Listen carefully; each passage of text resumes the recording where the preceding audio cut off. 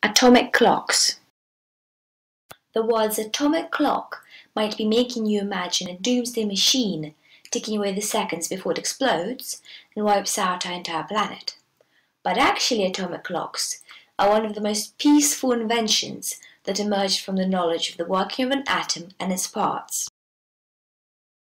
When humans began to track the passage of time thousands of years ago, they did it by watching the movement of the sun across the sky and a second, for example, was defined as one eighty-six thousand four hundredth of a solar day. Atomic clocks, however, are much more reliable than the motion of the Earth because they're based on very fast oscillations of an atom. Oscillation is the change in the flow of electrical charge between an atom's nucleus and electrons. The frequency of the oscillations is a bit like the swinging of a pendulum in a grandfather clock, but it is incredibly precise and consistent. A cesium atom, for example, oscillates at over 9 billion cycles per second, meaning it keeps time much better. Atomic clocks do not use cesium atoms to keep time. This might seem funny since I've been telling you all about atoms and oscillation, but the part that keeps time is a standard quartz crystal oscillator. That is a quartz crystal which when subjected to a certain current vibrates at a certain frequency. The difference is that in ordinary quartz clocks, the oscillator is tuned accurately when the clock is built, but over time slight variations develop, making it a little fast or a little slow.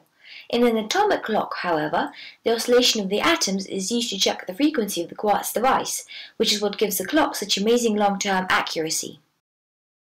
Cesium atoms are funneled down a tube where they pass through radio waves. These are generated from the vibrations of the quartz crystal. If their frequency is just right, then the cesium atoms oscillate and change their energy state. This means that an electron absorbs some of the energy from the radio waves and jumps to a higher energy level. A detector at the end of the tube counts how many cesium atoms reaching it have changed energy states. The more finely tuned is the radio frequency, the more cesium atoms change state. The detector feeds information back into the radio wave generator and synchronizes the frequency of the radio waves with the peak number of cesium atoms striking it. Finally, the atomic clock keeps track of the quartz crystal oscillations to know when a second has passed. Now you know all about atomic clocks. Thank you for listening created using Powtoon.